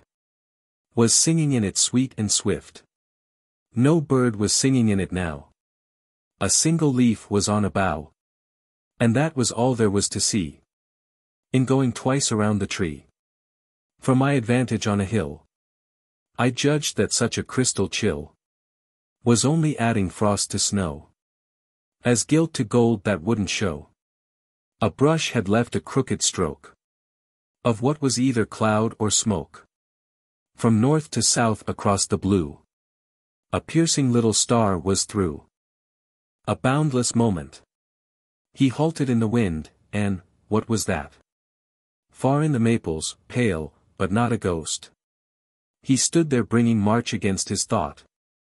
And yet too ready to believe the most. Oh, that's the paradise in bloom, I said. And truly it was fair enough for flowers. Had we but in us to assume in March. Such white luxuriance of May for ours. We stood a moment so in a strange world. Myself as one his own pretense deceives. And then I said the truth, and we moved on. A young beech clinging to its last year's leaves. Evening in a sugar orchard. From where I lingered in a lull in March. Outside the sugar house one night for choice. I called the fireman with a careful voice. And bade him leave the pan and stoke the arch. O fireman, give the fire another stoke. And send more sparks up chimney with the smoke. I thought a few might tangle, as they did. Among bare maple boughs, and in the rare hill atmosphere not cease to glow. And so be added to the moon up there. The moon, though slight, was moon enough to show. On every tree a bucket with a lid. And on black ground a bearskin rug of snow. The sparks made no attempt to be the moon. They were content to figure in the trees. As Leo, Orion, and the Pleiades. And that was what the boughs were full of soon. Gathering leaves. Spades take up leaves. No better than spoons. And bags full of leaves. Are light as balloons. I make a great noise. Of rustling all day. Like rabbit and deer running away. But the mountains I raise. Elude my embrace. Flowing over my arms. And into my face. I may load and unload. Again and again. Till I fill the whole shed. And what have I then? Next to nothing for weight. And since they grew duller. From contact with earth. Next to nothing for color. Next to nothing for use. But a crop is a crop. And who's to say where? The harvest shall stop. The valley's singing day. The sound of the closing outside door was all. You made no sound in the grass with your footfall. As far as you went from the door, which was not far. But you had awakened under the morning star. The first songbird that awakened all the rest. He could have slept but a moment more at best. Already determined dawn began to lay. In place across a cloud the slender ray. For prying beneath and forcing the lids of sight. And loosing the pent-up music of overnight. But dawn was not to begin there, pearly pearly. By which they mean the rain is pearls so early. Before it changes to diamonds in the sun. Neither was song that day to be self-begun. You had begun it, and if there needed proof. I was asleep still under the dripping roof. My window curtain hung over the sill to wet. But I should awake to confirm your story yet. I should be willing to say and help you say. That once you had opened the valley's singing day. Misgiving. All crying, we will go with you, O wind. The foliage follow him, leaf and stem. But a sleep oppresses them as they go. And they end by bidding him stay with them. Since ever they flung abroad in spring. The leaves had promised themselves this flight. Who now would fain seek sheltering wall. Or thicket, or hollow place for the night. And now they answer his summoning blast. With an ever vaguer and vaguer stir. Or at utmost a little reluctant whirl. That drops them no further than where they were. I only hope that when I am free. As they are free to go in quest. Of the knowledge beyond the bounds of life. It may not seem better to me to rest. A hillside thaw. To think to know the country and not know. The hillside on the day the sun lets go.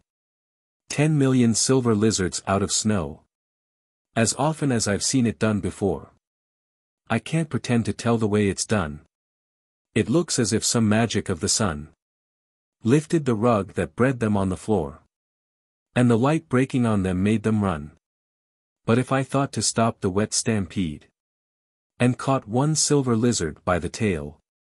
And put my foot on one without a veil. And threw myself wet-elbowed and wet-kneed. In front of twenty others wriggling speed. In the confusion of them all a glitter. And birds that joined in the excited fun. By doubling and redoubling song and twitter. I have no doubt I'd end by holding none. It takes the moon for this. The sun's a wizard. By all I tell, but so's the moon a witch. From the high west she makes a gentle cast. And suddenly, without a jerk or twitch. She has her spell on every single lizard. I fancied when I looked at six o'clock. The swarm still ran and scuttled just as fast. The moon was waiting for her chill effect. I looked at nine, the swarm was turned to rock. In every lifelike posture of the swarm. Transfixed on mountain slopes almost erect. Across each other and side by side they lay. The spell that so could hold them as they were. Was wrought through trees without a breath of storm. To make a leaf, if there had been one, stir. It was the moon's, she held them until day. One lizard at the end of every ray. The thought of my attempting such a stay. Plowmen. A plow, they say, to plow the snow. They cannot mean to plant it, though. Unless in bitterness to mock. At having cultivated rock. On a tree fallen across the road. To hear us talk. The tree the tempest with a crash of wood. Throws down in front of us is not to bar. Our passage to our journey's end for good. But just to ask us who we think we are. Insisting always on our own way so. She likes to halt us in our runner tracks. And make us get down in a foot of snow debating what to do without an axe. And yet she knows obstruction is in vain. We will not be put off the final goal. We have it hidden in us to attain. Not though we have to seize earth by the pole. And, tired of aimless circling in one place. Steer straight off after something into space. Our singing strength. It snowed in spring on earth so dry and warm. The flakes could find no landing place to form. Hordes spent themselves to make it wet and cold. And still they failed of any lasting hold.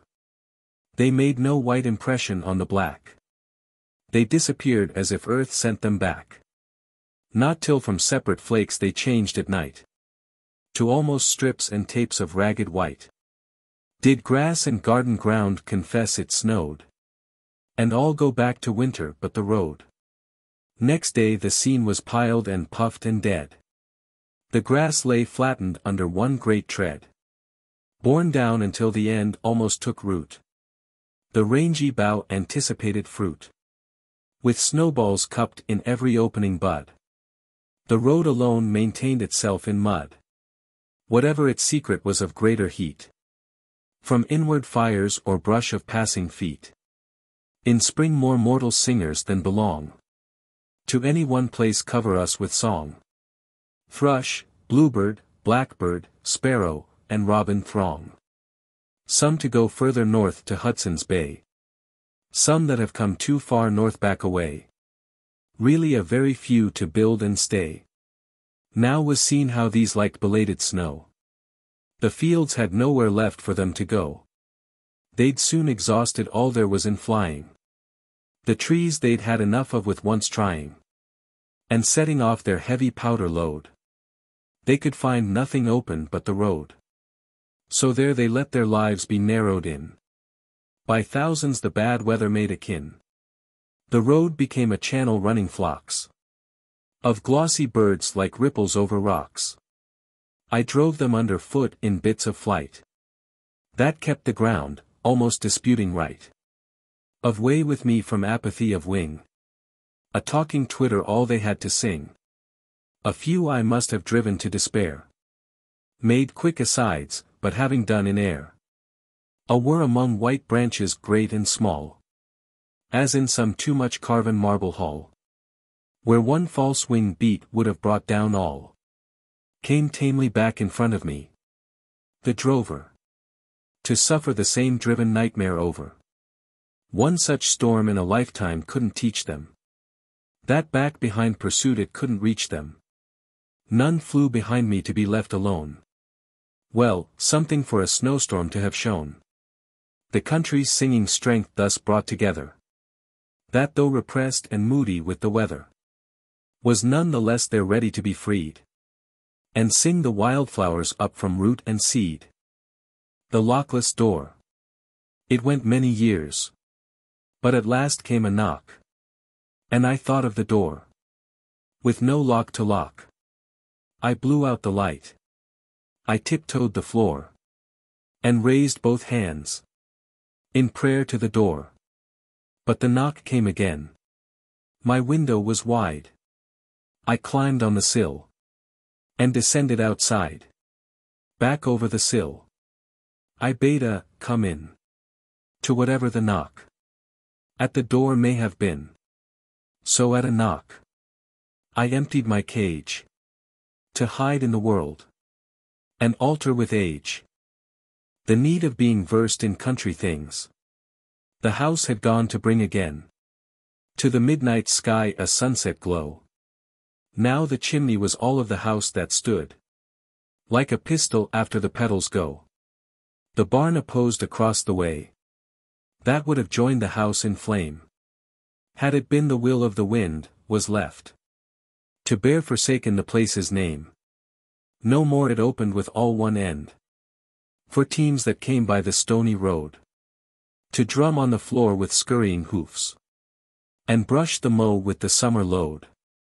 The birds that came to it through the air. At broken windows flew out and in. Their murmur more like the sigh we sigh. From too much dwelling on what has been. Yet for them the lilac renewed its leaf. And the aged elm, though touched with fire. And the dry pump flung up an awkward arm. And the fence post carried a strand of wire. For them there was really nothing sad. But though they rejoiced in the nest they kept. One had to be versed in country things. Not to believe the Phoebes wept. The end.